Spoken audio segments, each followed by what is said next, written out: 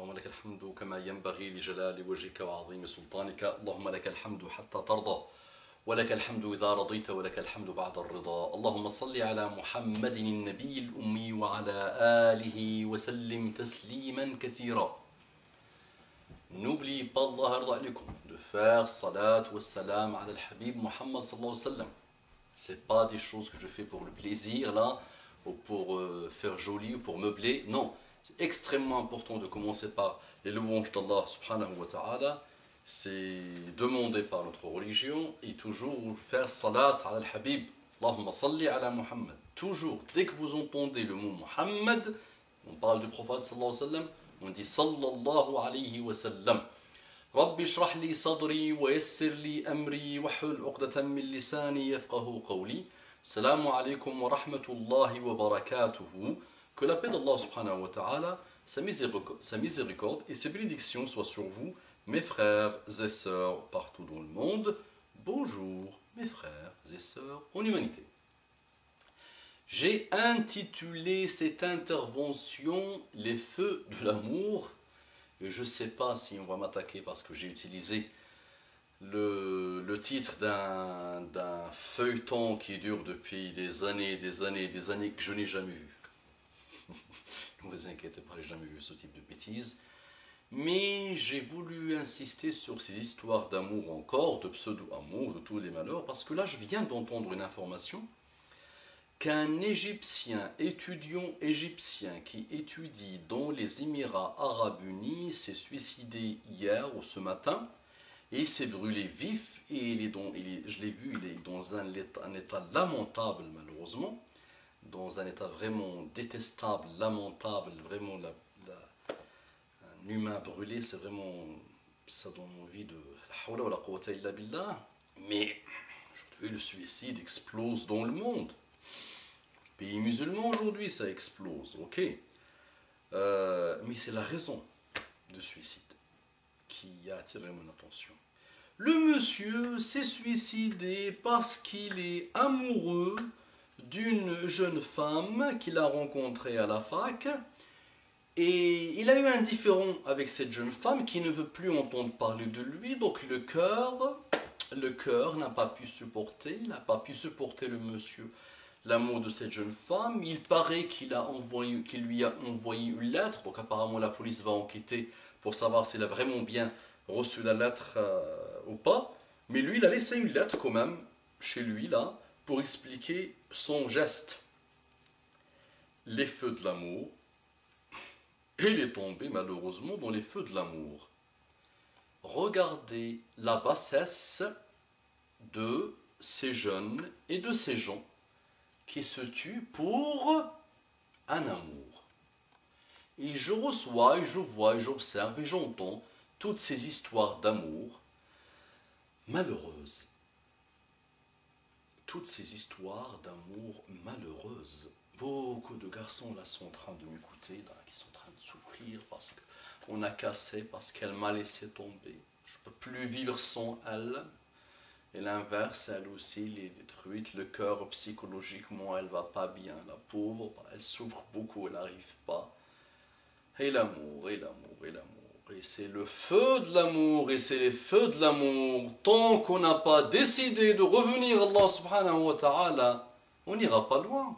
Toutes ces histoires, moi je vais vous le dire, les amis, ne vous cassez pas la tête, que ce soit les garçons, que ce soit les femmes, dans les âges ingrats malheureusement, là, ces âges bizarroïdes, aujourd'hui, sont jeunes de 13 à 45 ans, ou 50 ans. Tout le monde est amoureux des amours bizarroïdes. Moi, je ne comprends plus rien à rien. Le seul amour qui tienne, c'est le hubbu fillah, l'amour en Allah subhanahu wa ta'ala. C'est le seul qui tienne. Et c'est celui-là qui peut élever tous les amours vers des horizons et vers des niveaux inimaginables. Quand tu aimes ta mère en Allah subhanahu wa ta'ala, tu peux, tu peux supporter 10 milliards de morts que une piqûre la touche ou qu'une épine la touche. Quand tu aimes un homme en Allah subhanahu wa ta'ala, ça c'est l'amour coranique, le wa rahma المودة والرحمة ومن آياته أن خلق لكم من أنفسكم أزواجا وجعل بينكم مودة ورحمة Parmi ces signes qu'il a créé de vous, des femmes, des épouses, et il a mis entre vous mawadda. La mawadda intraduisible, ça, c'est beaucoup, beaucoup, beaucoup plus supérieur que l'amour. L'amour, c'est un petit détail, c'est un petit rien de mawadda. Warahma, une miséricorde. Allah n'a pas dit un amour avant la mort, avant, avant euh, le mariage. Ça, c'est, ça, c'est des, des notions bizarroïdes. Ça, c'est des notions qui ne doivent pas exister. Ça, c'est des mensonges. Ces amours, je vous défie. Allez, mettez des commentaires sur cette vidéo.